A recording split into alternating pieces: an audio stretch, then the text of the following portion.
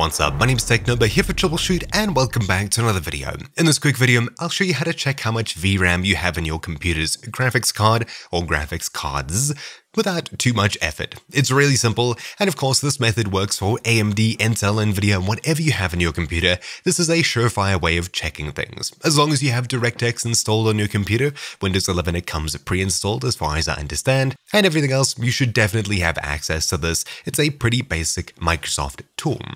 Hold start and press R on your keyboard to bring up the run dialog and inside of here we'll be typing in DXDIAG, DXDIAG, hit enter, open it up and in a few seconds of nothingness, we may get a pop-up asking yes or no, simply click either option and eventually we'll be dropped into the DirectX diagnostic tool here.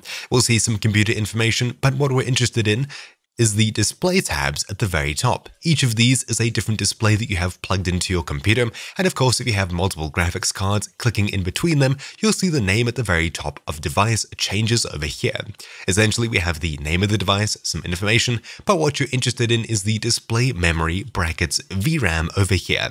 I currently have 12 gigabytes of VRAM in my RTX 3080 Ti, and this is where we see it's visible shared memory and total approximate memory are different things and are based on how much RAM you have in your computer plus your VRAM. It's a little bit odd. If you'd like to see the total RAM in your computer, you can see here memory 131 gigabytes for me.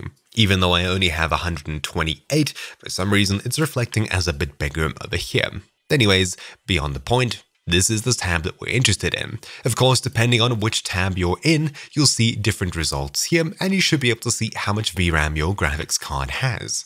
Super simple. For NVIDIA users, you can right-click your desktop, click NVIDIA Control Panel, and inside of here, at the very top, we can click Help, then System Information. And inside of this new window over here, we'll see our graphics cards listed out.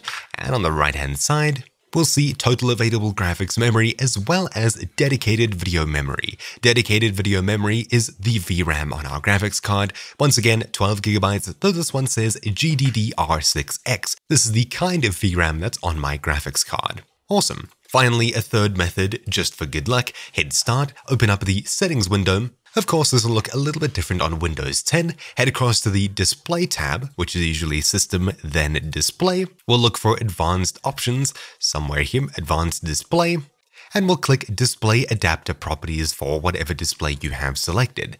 Then a new window should pop up, and inside of here we see dedicated video memory 12 gigabytes. Once again, this is our VRAM on our computer for whatever graphics card we currently pulled this window up for.